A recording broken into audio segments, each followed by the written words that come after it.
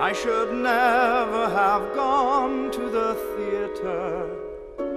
Then I'd never have come to the country. If I never had come to the country, matters might have stayed as they were. Sir, Sir, if she'd only been faded, if she'd only been fat, if she'd only been jaded and bursting with chat, if she'd only been perfectly awful, it would have been wonderful. If, if, if she'd been all a twitter or elusively cold, if she'd only been bitter or better, looked passably old, if she'd been covered with glitter or even been covered with mold, it would have been wonderful. But the woman was perfection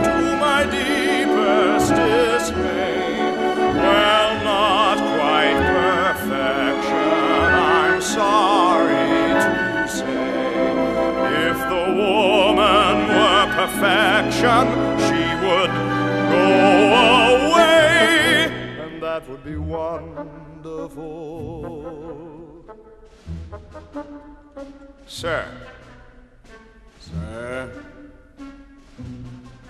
If she'd only looked flustered or admitted the worst, if she only had blustered or simpered or cursed, if she weren't so awfully perfect, it would have been wonderful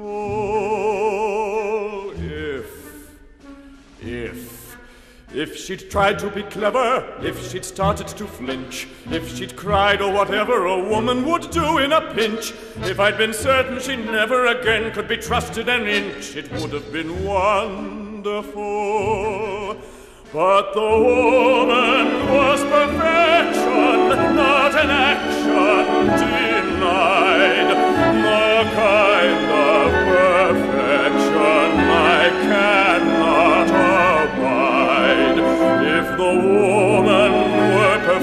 perfection, she'd have simply lied, which would have been wonderful.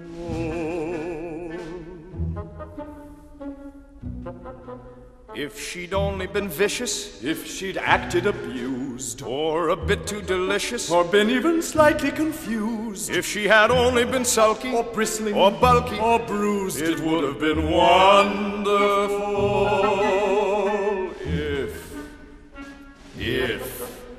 If she'd only been willful, if she only had fled, or a little less skillful, insulted, insisting, in bed, if she had only been fearful, or married, or tearful, or dead, it would have been wonderful.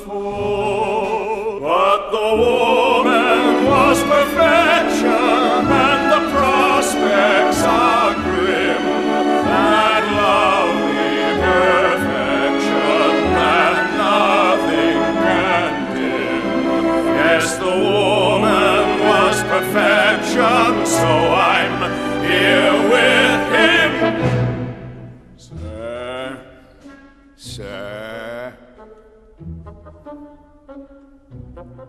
It would have been wonderful.